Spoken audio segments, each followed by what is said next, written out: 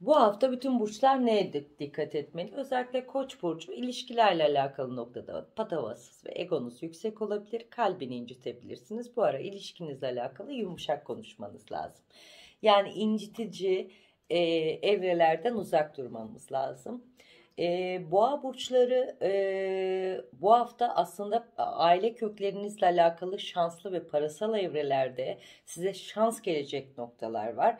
Beklenmedik e, paralar, beklenmedik oluşumlar var. Bunlara dikkat edeceğiz. Ev taşınmanız olabilir. Bunu ihmal etmeyin değerli boğa burçları. Bu hafta böyle bir karar alabiliriz.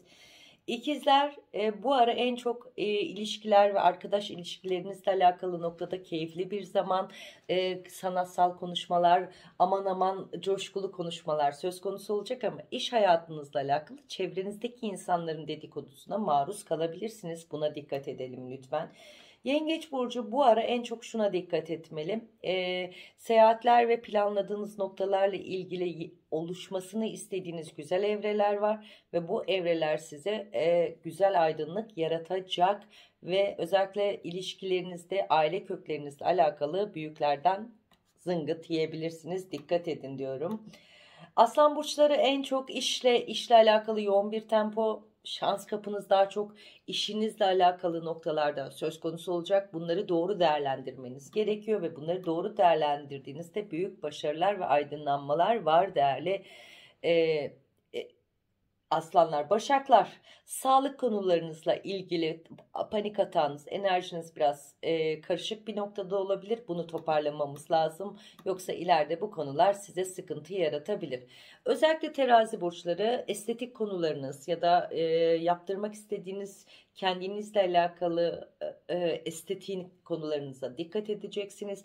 Akrepler özellikle para yetenekleri, para kayıpları, parayla alakalı sıkıntılar, parayla ilgili noktalarda e, gerçekten sıkıntı olabilir.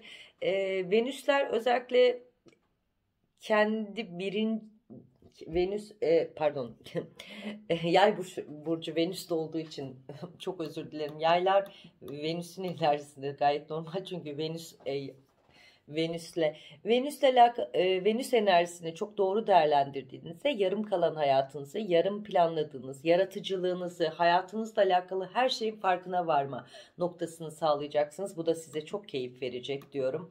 Oğlak burçlu, burçları e, şunu demek istiyorum. Şans sizden yana para şansı ve para enerjinizi mutlaka kendinize çekmeniz lazım. Bu enerjiyi doğru çek, çektiğinizde de çok güzel aydınlanmalarınız olacak ve bu sizi mutlu edecek.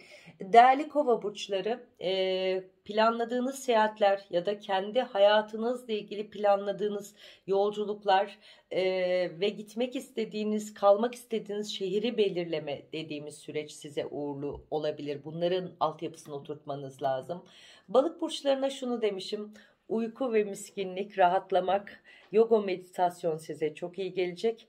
Ee, inançlarınla ilgili ara sıra değişken yapım var. İnançlarını tazelemen lazım. Özellikle e, balık burçlarında inandığınız enerjide dualarınızı yapın diyorum. Sevgi ve mutlulukla kalın. Allah'a emanet olun. Hoşçakalın.